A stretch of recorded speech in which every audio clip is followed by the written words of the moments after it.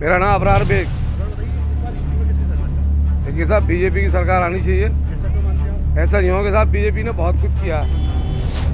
लोगों को ration free किया है। महीने में दो दो बार राशन दिए गठबंधन जो है, ये ठगबंधन है। दो लड़कों का ठगबंधन है, एक दिल्ली और एक यूपी। दस तारीख को जो है, दस तारीख को पता चल जाएगा। अभी तो बहू आई है और स्पष्ट दस मार्च को पूरा बहुमत के साथ। लेकिन गठबंधन की जो रैली हो रही है उसमें बहुत भीड़ आ रही है। तो क्या मानते हैं देखिए सब जो है महिमा मंडे सारे जितने जो बिल में घुस गए थे बिल में जो घुस गए थे गुंडे बदमाश मवाली वो सब अब नज़र आ रहे हैं। चुनावों की घोषणा हो जाने के साथ साथ सभी राजनीतिक पार्टियों में मुस्लिम मतदाताओं को लेकर खींचतान मच जाती है। सभी राजनीतिक पार्टियाँ मुस्लिमों को अपनी ओर वोट डालने की अपील करती हैं। लेकिन इस बार मुस्लिम मतदाता क्या सोचता है? क्या वह धर्म और जाति पर बटेगा या फिर विकास के नाम पर वोट करेगा? कुछ लोग हैं मेरे साथ जो आइए इनसे बात करते हैं कि इस बार यह है यूपी में किसकी सरकार चाहते हैं? क्या नाम है आपका? मेरा नाम अबरार बेग। अब बताइए इस बार यूपी में किसकी सरकार चाहते हैं? देखिए साहब बीजेपी की सरकार आनी चाहिए। ऐसा क्यों मानते हैं आप? ऐसा नहीं हो साहब बीजेपी ने बहुत कुछ किया है।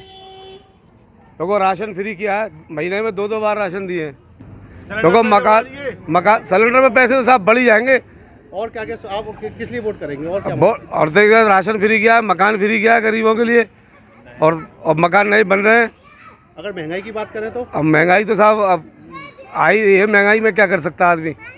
महँगाई तो विकास भी तो हो रहा है बराबर। यूपी यू अगर रोज़गार की बात करें तो बेरोजगारों को रोज़गार नहीं मिला सरकार में विपक्ष आरोप लगा रहा है। अब ये आरोप आरोप प्रत्यारोप तो चलते रहते हैं साहब ये तो। अखिलेश ने गठबंधन किया है क्या कहेंगे? अब गठबंधन में देखिए साहब अब गठबंधन ये तो बीजेपी का बीजेपी की सरकार बनेगी अब की बार भी। क्या नाम है तुम्हारा? अरे क्या सही कह रहे हैं? बीजेपी सरकार बनेगी? जी। क्यों? क्यों? क्यों? क्यों? क्यों? ऐसा क्यों लगता है आपको? बाबा जी ने काम करा। जो बात है क्या? काम किया? बाबा जी ने महँगाई बढ़ा दी। राशन लॉकडाउन में राशन अन्य डबल डबल दिया है बाबा जी ने। और काम भी सही करे हैं। और रही रोज़गार की बात। तो कुछों को नौकरी मिली और कुछों को नहीं मिली है। इस इस अब बाबा जी की सरकार बनेगी तो अब मिल जाएगी औरों को भी। कांग्रेस सरकार आएगी। कांग्रेस सरकार आएगी। बीजेपी ने तो अस्सी अस्सी हज़ार के बिल भरवाए। सपा और गठबंधन के बारे में क्या कहेंगे? आ सके है सरकार ये भी अब कांग्रेस की सरकार बनेगी वैसे आपकी नज़र में अच्छी सरकार कौन सी है? कांग्रेस की सरकार अच्छी है। कांग्रेस सरकार अच्छी है। क्या सही कह रहे हैं? कांग्रेस सरकार अच्छी है? लड़की हूँ लड़ सकती हूँ। लड़का हूँ विदेश में बैठूँगा। जो राहुल गांधी हैं वो क्या कह वो क्या कह रहे हैं? लड़का हूँ विदेश में जाऊँगा और पप्पू बनूँगा। कांग्रेस की सरकार दस सीटें भी आ जाएँ बहुत बड़ी बात है। बताइए दस सीटें आए बहुत बड़ी बात है। अब मैं इनसे क्या मजूरी करूँ? पब्लिक परेशान है। तमाम नेता पिट रहे हैं।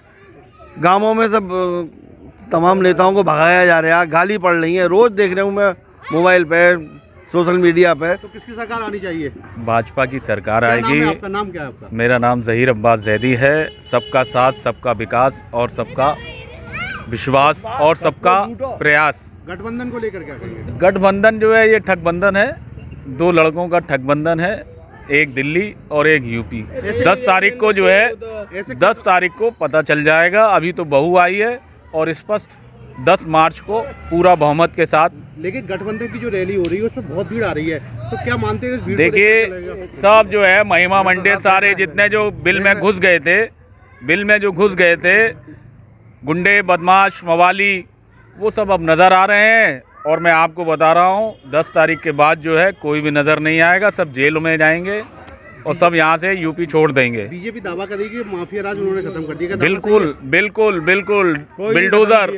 बिल्डोजर जो चला है तो ये बताइए जो सरकार आप मथुरा में है मथुरा में जवाहर बाग जैसा कांड जो है एक सबसे बड़ा कलंक है जहाँ पर एक प्रशासन अधिकारी उच्च अधिकारी मुकुल द्विवेदी जी का मर्डर हुआ।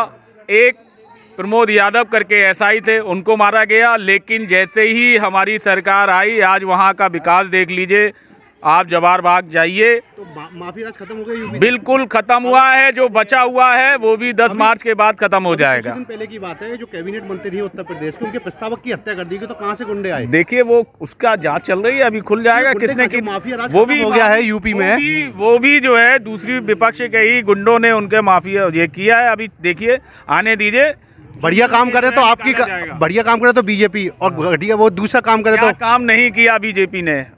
क्या काम नहीं किया मर देखिए मुस्लिम की जो परसेंटेज है उत्तर प्रदेश में जितनी भी जितनी भी योजनाएँ आई हैं उस परसेंटेज से ज़्यादा हमेशा सारी तीस परसेंट योजनाओं का लाभ उठाया है। हमने जो है अस्सी लाख मकान बनवाए यहाँ जिसमें मुसलमानों की अच्छी खासी संख्या है। हर राशन अभी कुछ है क्या सही कह रहे हैं ये? कुछ भी सही ना करे क्यों? सब बकवास है वैसे क्यों? आप किसकी सरकार चाहते हैं? अरे हम क्या सरकार चाहे मार तो दिया घेर के नहीं है। क्या सरकार है? होगी हो जाएगी सुशी जो कुछ हो जाएगा आलू बंद करा दो दाल बंद करा दो खाने पीने बंद करा दो सब चीज़ें बंद करा दो। तो से नाराज़ है बीजेपी से? देखिए कुछ नाराज़ मशीन बंद हो गई साहब राशन नहीं ये, मिलेगा। ये जो है दस तारीख के बाद ये भी नारी नारे लगाते हुए देंगे। क्या नाम है बाबू जी आपका? अरे मेरा कोई नाम ना भाई साहब मैं परेशान हूँ वैसे। इतना इतना इतना परेशान है आप बीजेपी हाँ। कुछ नहीं बताया यार कोई वैसी बातें हो रही है बकवास की बातें हो रही है हाँ, नाम बताइए आप नाम। खाने पीने पे रोक क्यों लगा रहे हो? हाँ? नाम तो बताइए। कम से कम रोक वेज वेज नाम है मेरा। अबे बोटी तो खाने दो। अबे कम से कम ये है इतना कम से कम रो- खाने पीना बंद करा दो? बताई अब जो जो जो खाना खा रहा है उसको तो खाने दो। जानवर कर रहे हैं। सब कट रहे हैं मुसलमानों पे वो हो रहा कम से कम बोटी तो खाने दो। क्या नाम है आपका? मेरा शकील भारती। है? मुसलमानों के आएगी तो बीजेपी की सरकार आएगी जहाँ तक है। और अखिलेश या बीजेपी दो ही टक्कर है। आपको क्या लगता है? हम्म। आप किसकी सरकार अच्छा मानते हैं? अब अच्छी सरकार तो भैया वही बात पब्लिक के लिए काम किया हो। पब्लिक ये ये पब्लिक तो भाई कोई भी सरकार आया योगी जी आ जाए कोई दिक्कत नहीं। मगर बिल्कुल निस्वार्थ होना चाहिए। ये नहीं कोई पब्लिक परेशान ना हाँ, रहे खान पीन पे नहीं हो दिक्कत हो। ये कह रहे हैं ये कह रहे हैं कि सबका साथ सबका विकास करती है। बीजेपी अब वो ये अब वो राजनीति वाली बात है। बहरहाल ये है कि जो जो खा रहा है उसको खानन दो। ये तो ऊपर वाला जाने ये तो उसके हाथ डोरे किसको किसको खिताब मिलता है? अब योगी जी यहाँ हैं। बजट लागू हुआ है क्या उम्मीदें लगी आपको बजट से? कुछ है आप लोगों के लिए या पूरी आम जनता के लिए? अब देखो सबके सबका साथ सबका जिस जिस तरीके से वो बोलते हैं वो पूरा करें तो योगी जी बढ़िया है हमारे नहीं हमें कोई दिक्कत नहीं कोई ऐसी बात खास नहीं है गरीबों के लिए कुछ भी नहीं है बजट में। पढ़ा तुमने बजट? अरे सुना है टीवी पर बैठ के कुछ नहीं है बेकार की बात है समझ में आ सर सब पैसे वालों की मतलब की चीज़ें वो। कुछ बजट समझ में आया? सब समझ में आता है। अरे छोड़ो इन बातों को इन बात सुनाई बातों में क्या बजट समझ में आया? ऐसा मैंने तो नहीं पढ़ा बजट। अच्छा। लेकिन बजट तो पहले ऐसा ही है जैसे भी था। पहले ऐसे क्यों है? ना पहले ऐसा ही है। उसका थोड़ा सा इम्प्रूवमेंट किया है। बिल्कुल भी नहीं है पहले ऐसा। हाँ। जो जो खा रहे हैं दो वो सब बड़े बड़े लिए जिसे नहीं, गोश्त खाने की मना कर दिया वो तो दाल ही खाएगा साहब। अरे नहीं बड़े बड़े आदमियों के लिए है समझो जरा। किसकी सरकार चाहते हैं? ये तो विकास के ऊपर है। क्या मुद्दे रहेंगे? मुद्दे तो यही है कि बिजली बहुत महँगी है। बिल बेहिसाब है। फ्री होनी चाहिए बिजली। आज भी जो है बिल जो है ना तो पंखे चल रहे ना कुछ कूलर चल रहे फिर भी जो है बिल बेहिसाब आ रहे हैं। पच्चीस का बिल आ रहा है आप भी। अब ये तो वक्त बताएगा किसकी सरकार होगी। किसकी सरकार अच्छी है? बीजेपी अच्छी है साइकिल अच्छी है या फिर हाथी अच्छा? किसकी सरकार अच्छी है? सरकार तो जैसे बीजेपी जो काम करती है अच्छा करती है लेकिन ये महँगाई जो है ये मारे डाल रही है।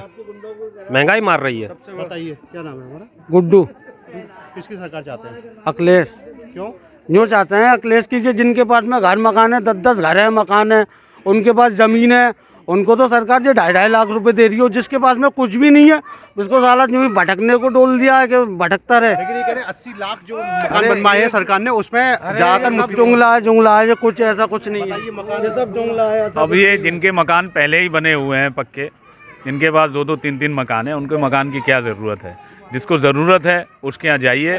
हमारे पास कोई लेके आए अखिलेश बाबू कोई अपना प्रतिनिधित्व भेजे हम उनको डाटा देते हैं कि कितने परसेंट मथुरा में ही कितने परसेंट लोगों को मकान मिले। अभी अभी अखिलेश जी मुख्यमंत्री का एक बयान आया कि 80 और 20 परसेंट के बीच चुनाव है। क्या मतलब देखिए हम 80 परसेंट सीटें जीतेंगे।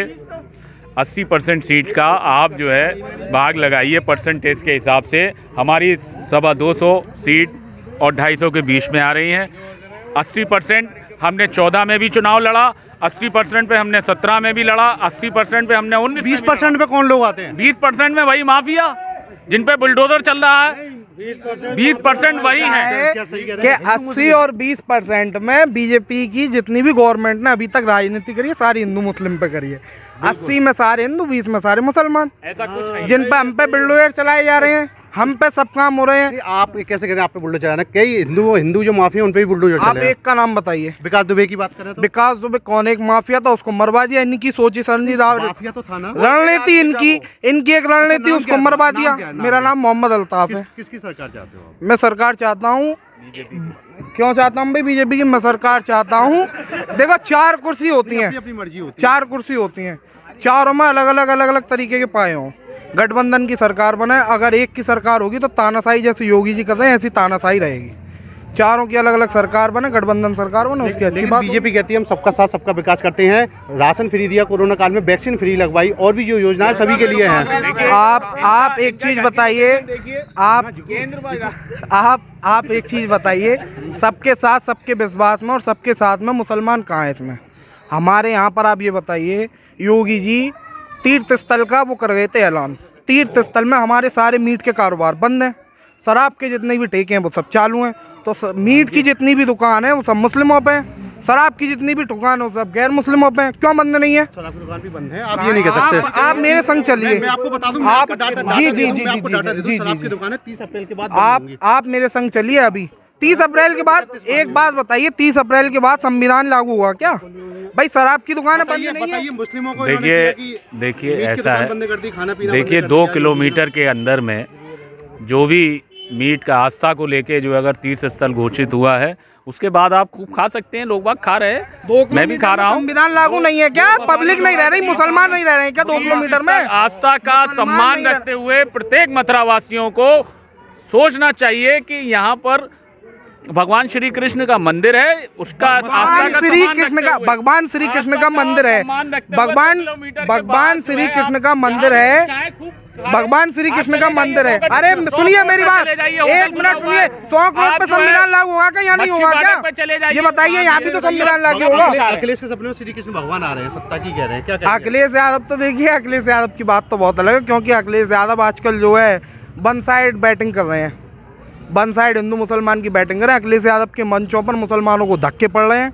इतनी बुरी स्थिति किसकी हो चुकी है। तभी तो कह रहे हैं हम तोड़ मोड़ बड़ों वाली सरकार हो बैरिस्टर सरुद्दीन ओवैसी साहब को संग में लो अगर बाकी में मुस्लिम हितेशी तो। मुस्लिम नहीं हो के?